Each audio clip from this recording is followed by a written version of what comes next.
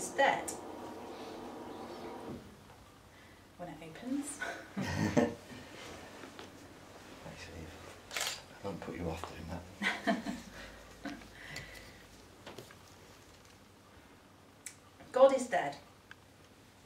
God is dead, my four year old tells me. My, how his dad will smile, but my own heart trembles with alarm. He prays, Dear girls, and finishes, Amen. It doesn't go like that, his dad remarks. Yes, it does. A little later, How do you say it? Ask your mother, his dad replies. Close your eyes, I say. Like when I pray? My son asks.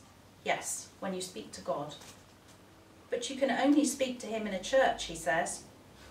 I inhale and decide how best to proceed. God and Jesus are everywhere, I explain. You don't need a church. But, says he, remembering the crucifix conversation from yesterday, God and Jesus are dead. I ponder then how much time I wasn't spending with my son, that I hadn't shared my deep beliefs, loved my son enough to teach him to talk to the one who had banished night terrors and support his growing up.